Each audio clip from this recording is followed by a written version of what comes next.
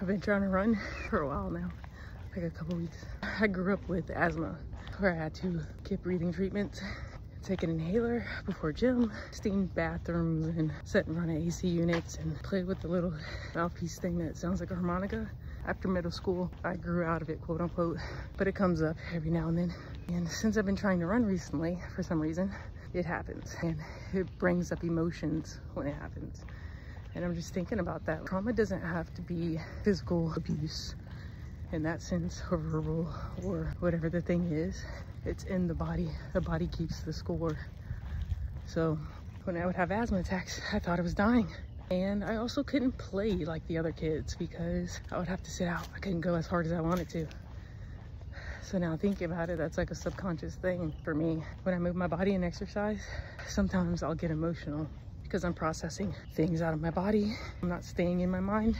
I move my body and it makes you breathe a certain way and you have to pay attention where your surroundings and things like that. So you don't have time to be in your head as well. At a certain point you enjoy it.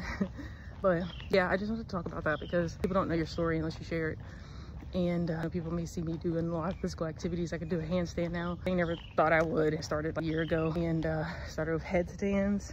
That just happened because I, I pay attention I listen to my body and that's my diet as well. Depends on the season and how my body is and what I need to do, everything like that. But I was just going through it, struggling to breathe, trying to run, like I said, for some reason. That's just what I'm feeling called to do right now.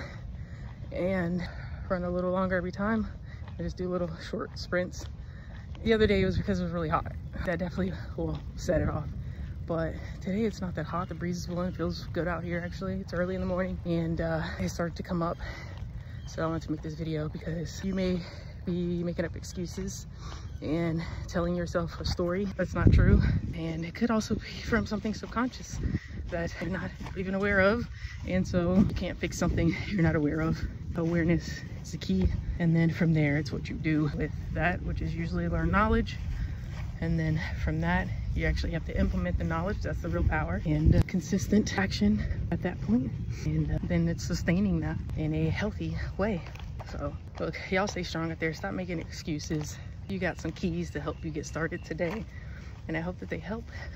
Let me know what action you're taking this week towards your goals or your dreams. And uh, I'll see y'all in the next video.